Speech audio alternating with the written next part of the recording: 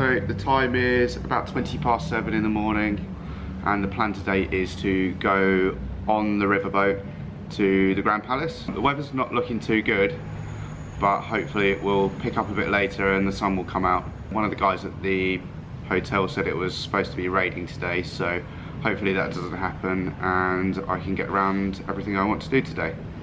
On the way to catch the number 75 bus from outside the Big C shopping centre hopefully today, if it's not too busy, I'll be able to I'll be able to film inside of it to show you uh, exactly what it's like.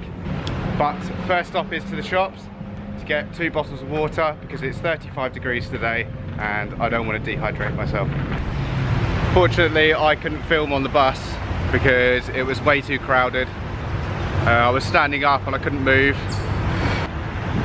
I got off the bus maybe two or three stops early and I've walked the wrong way but I found this nice little park by the side of the busy road where I'm just sitting and chilling before I try and find the Asiatique to catch the river bus. So I stopped and found a Starbucks where I used the Wi-Fi and luckily I was only about half an hour's walk away so I've, I've now found the Asiatique and it's about a five minute walk where I will go to the Watertincombe Pier and catch the river bus up to the Grand Palace.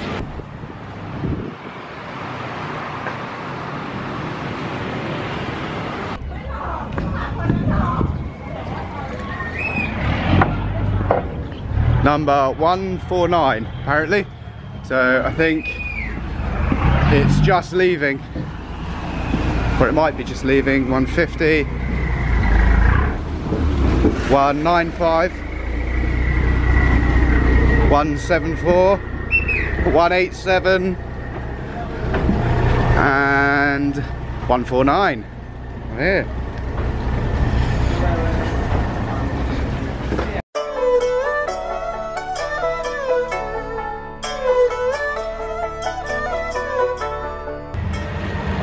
Klong Talad Pier, which is about a 20 minute stop away from the Grand Palace. And my plan is to walk the sois and try and find maybe a market stall or something that sells long trousers. So I'm gonna walk the sois and find some long trousers.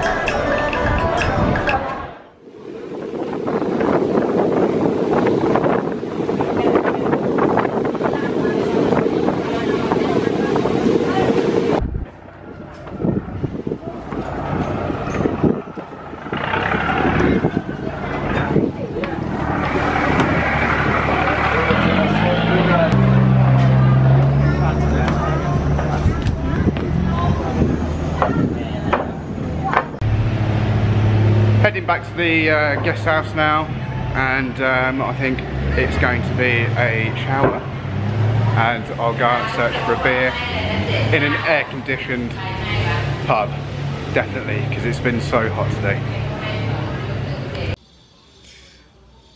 Editing yesterday's vlog and realised that I completely forgot to film any sort of outro.